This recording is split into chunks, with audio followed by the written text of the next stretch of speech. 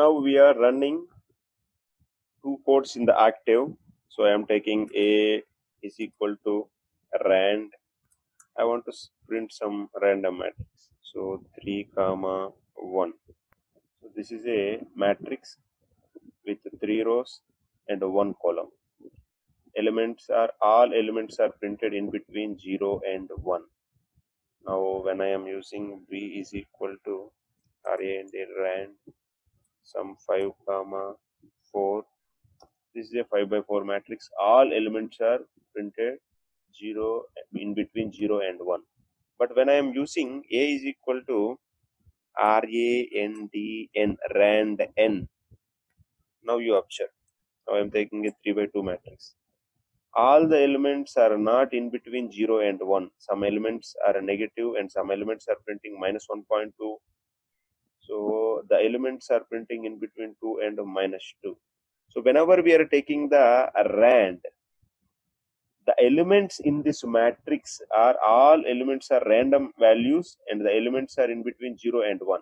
When I am using rand n, all the elements may not be in between 0 and 1. This is the difference between rand and rand n. We will apply the same concept in the numpy. I have opened the PyCharm in this PyCharm I have imported the numpy and I want to print a. Now I want a two-dimensional array in which three rows and one column should be there. So we are executing this. You can observe now. All the values are printed in between 0 and 1 now I am using rand n we are executing the same program now observe all the values are not printed in between 0 and 1. This is the only difference between RAND and RAND N. When we are applying the broadcasting concept, remember, if I am taking a two-dimensional array, this is a two-dimensional array, in these two rows are there and three columns are there. Uh, this is like 1, 2, 3, 4, 5, 6.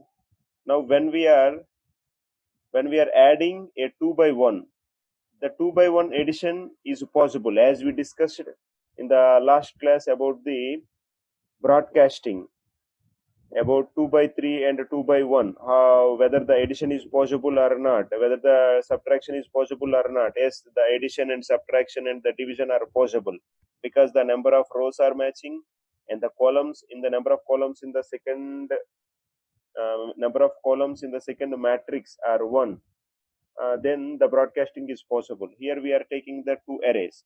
We can use this. As addition is possible. Now we are performing the addition. But when you use a simple 2 here when you are using a simple 2 it will not give the output.